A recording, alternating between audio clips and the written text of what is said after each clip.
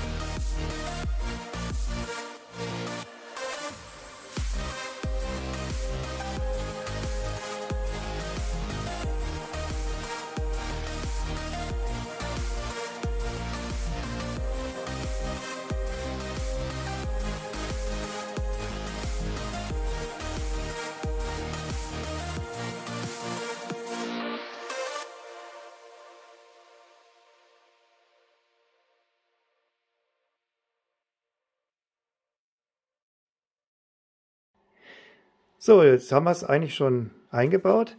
Wir haben jetzt verwendet äh, eine schlanke Bogenweiche.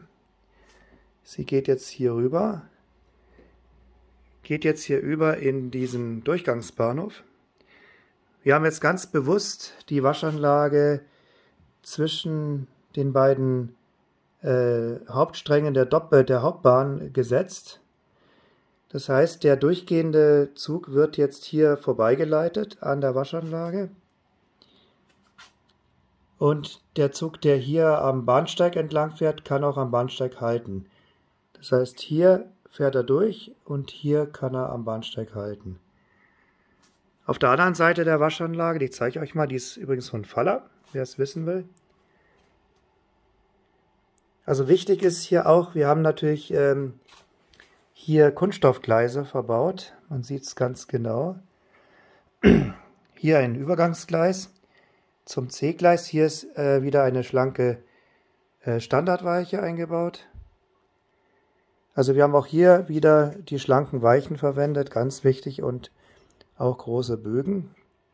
Und auf der anderen Seite dieser Waschanlage sind auch wieder Kunststoffgleise. Hier dieser Draht in der Mitte, das ist quasi der Mittelleiter. Die Laschen müssen noch, äh, müssen noch zusammengezwickt werden. Sieht ganz gut aus. Also gut, der Gras kommt natürlich weg. Da kommt natürlich dann drunter noch eine Platte. Wird dann alles eingeschottert, wenn alles fertig ist. Wir sind wie gesagt noch im Aufbau begriffen. Hier ist wieder ein Übergangsgleis zum C-Gleis. So, ja, dann machen wir ab jetzt Betrieb mit dieser Waschanlage.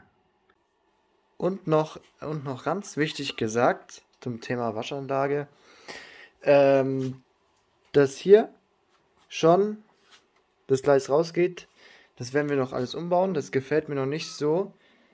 Da soll noch das Gleis hier weiter und soll da hinten dann erst wieder reingehen.